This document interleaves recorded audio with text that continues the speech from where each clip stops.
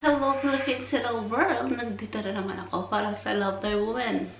Nang una sa episode na to ay si Amanda ay kinuha yung mga files kay Gia para siya na mag-take over sa project.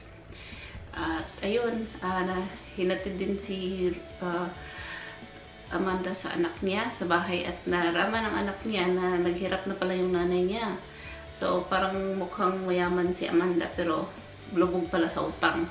So, yun ang nangyari pala kay Amanda. Kaya, nandyan siya sa Dragon Empire.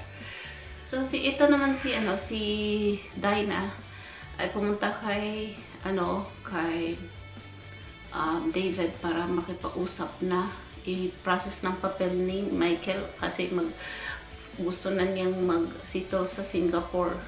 Uh, si David, si Dinah at saka si Michael gusto niya ni Dinah pero si David, sabi niya hindi pa itong panahon kasi gusto pa ni uh, David na makita yung anak niya.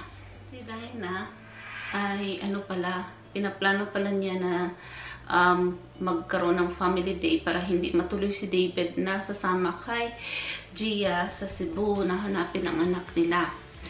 So, ayun, um, hindi natuloy si David. Uh, pumunta sa family day pero, the next day, nangdoon pa rin si David humabol. At ano, nagulat si Gia kasi bakit ano daw, nang siya. Sabi niya hindi matuloy pero nang Ayun. Nakakakilig na hindi. Ayan, patuloy si Gia at si David sa paghahanap ng ni Rhea. Habang sila kay naman ay ano, naghanap din kay Harry. So, pumunta sila sa presinto at si Kai ay nakakita ng love team. so, abangan natin yan.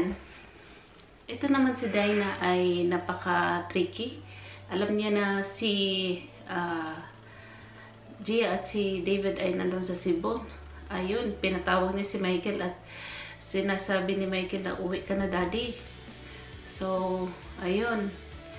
Um, sayang-saya ni Dana kasi na ano na naman niya si David na isahan.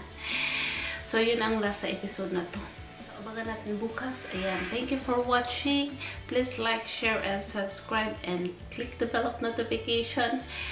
Uh, shout out to Jessie Lagonela um, my super chatter. And si Neddy Guerrer. Shout out to Neddy Guerrer. Ayan. See you.